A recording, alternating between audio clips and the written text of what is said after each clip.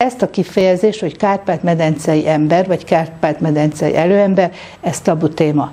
A neandervölgyi ősember tuti, hogy mindenki ismeri, azt, azt mindenki hallotta, holott a ma élő ember az nem a neandervölgyinek a le, ö, leszármazottja. És akkor azt mondtam, hogy akkor ezen nagyon el kéne gondolkodni. Egyrészt azon, hogy az emberi válásnak két világra szóló lelete itt van nálunk, ezt úgy megemlítik a, a tankönyvek, de hogy ennek milyen jelentősége van, és azt a szót, hogy Kárpát-medencei előember, ősember vagy ember, ezt miért nem lehet használni?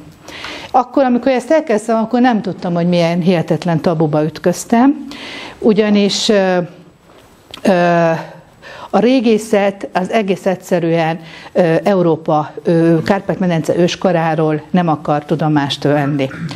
Úgy, nem azt, hogy nem akar tudomást venni, úgy állítják be ezt az egészet, mint hogyha a Kárpát-medence egy átjáróház lett volna. Ide mindig valaki